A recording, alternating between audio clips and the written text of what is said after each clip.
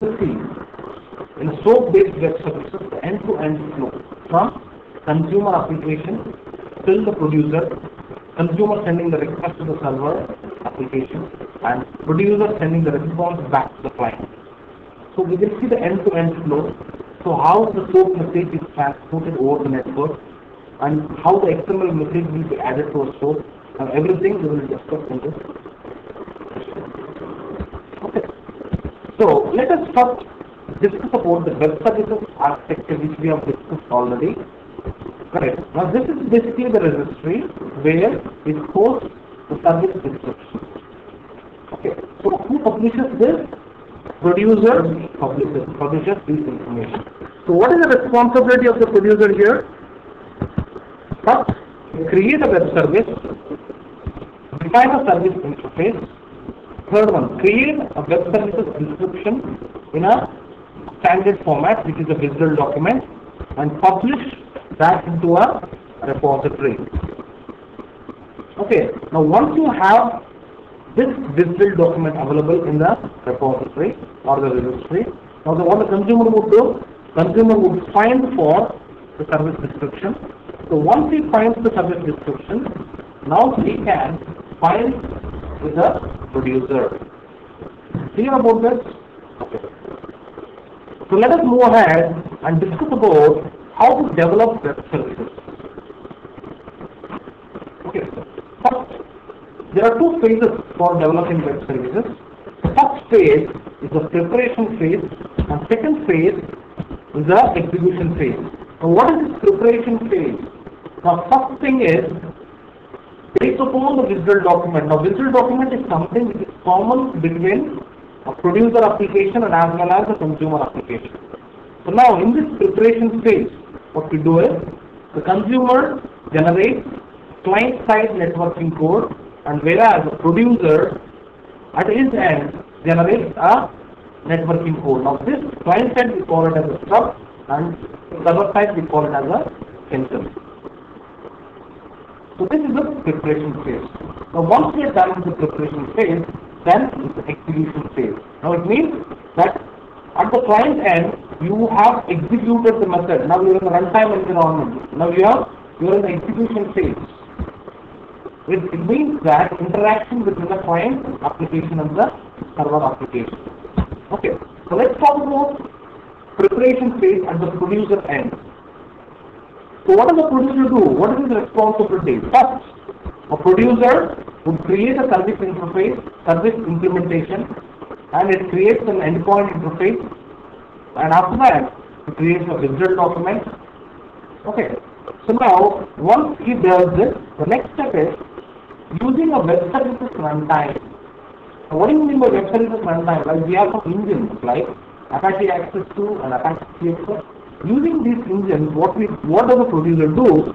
Producer generates a networking code. Now here, the WSDL document, if you look at it, the web services runtime takes input as a WSDL document and it generates this networking code. Clear? Okay. The next, now here, this networking code is aware how to talk to a requester or a consumer. This we call it as a skeleton. Okay. Now, coming to the consumer code. Now, what the consumer does? Consumer, now consumer either finds a WSDL document from the repository or through other, through other means he gets the WSDL document. Once he gets the WSDL document, what does he do? He uses the web services runtime and he uses the WSDL, same WSDL document provided by the producer and it generates the networking code. Now this networking code can actually interact with the producer producer networking code. Now this we call it as a stub. And once he does, once he once he is done with this, what is the third step he does? He writes the consumer code. What do you mean by consumer code? Now it is invocation of the service method. Right? Okay. Now this is a preparation phase. Now here by now client has a stub which is a networking code and server or producer has a networking code which we call it as a skeleton. Now both can interact with each other.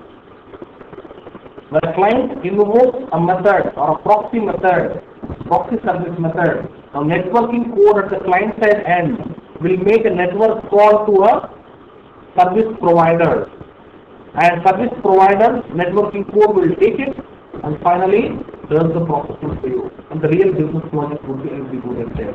So in the next phase, we will talk about the execution. So this is at the end. Now here, in the preparation phase, if you look at it, producer will develop a web service and he describes the web service in a WSDL document.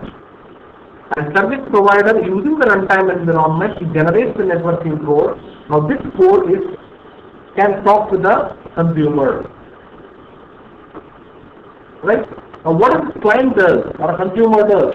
Consumer using this web services runtime and using the WSDL document what the producer has created, it, it generates the networking code. Now this networking code is capable enough to interact with the producer. Now at the end, the client will write the client code for invoking the web service. So this is the end of a preparation phase. So now we will see the execution phase. Okay. So now let us take a simple scenario. Now at the client end and at the service provider end, both have the infrastructure ready. So now what we need to have, what we need to do is, we need to invoke the web service. Okay, let us take this scenario. The scenario is, Techworm is developing an online booking bookstore in Java and book prices changes day to day and Techworm decides to use the Amazon Web Service which provides book, pro, book prices by passing the ISBN number as a parameter. Okay, now here, who is the provider and who is the consumer? Amazon is the provider and Techworm is consumer, right? Okay, so now let us see, Techworm sends the request. So what happens? Now, by now you have an infrastructure ready, you have a stub and skeleton. So Amazon has a skeleton and you Techworm has a stub. Right, now consumer invokes the service method. Now this is a proxy method. Once it invokes the service method, what happens? Now surely, now you are passing a request information, okay, as an object. Now you have created a book request as an object and you have passed the ISBN number there. Okay, now that object is serialized to an XML message. Right? Now this XML message will be added as a part of SOAP envelope to a body of a SOAP envelope. And the SOAP envelope will become payload of HTTP request packet. And over the wire to the in, to the internet, the request receives the other end, which is the service provider end. Okay. Now this service provider receives once it receives the HTTP request packet, that that is that it deserializes and it pulls the SOAP envelope out. And again the SOAP envelope is again the XML message is removed from the SOAP envelope. Now once you get the XML message, the deserialization happens and that converts to a Java object, which is a request object. Now this object contains what? It contains the ISBN number. Now once the ISBN number is received at the server service endpoint, the real business logic is invoked. Now once it invokes the business logic, finally you got the book price. Let's say like hundred dollars or something. So now this consumer end we call it as a stub and the producer end we call it as a skeleton. So clear about this flow? So this is at the Techworm sending a request to Amazon. So now Techworm receives the request from Amazon, right? So now the service provider generates the response. Now the real business logic of the service end has been invoked. So maybe the prices are maintained at the database of Amazon. Now the search has happened and the price of the book has been determined And now the price has to be sent back to a Techworm, which is a consumer.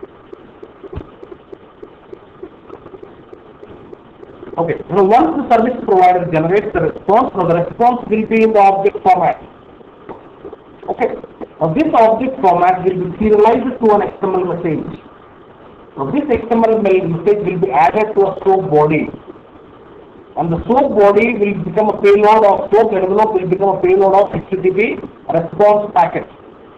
Now the HTTP response packet is transported over the wire to another network to a consumer. The consumer receives the HTTP response packet. The consumer application or web services runtime removes the SOAP envelope from HTTP response packet. And again the XML message is removed from the SOAP envelope.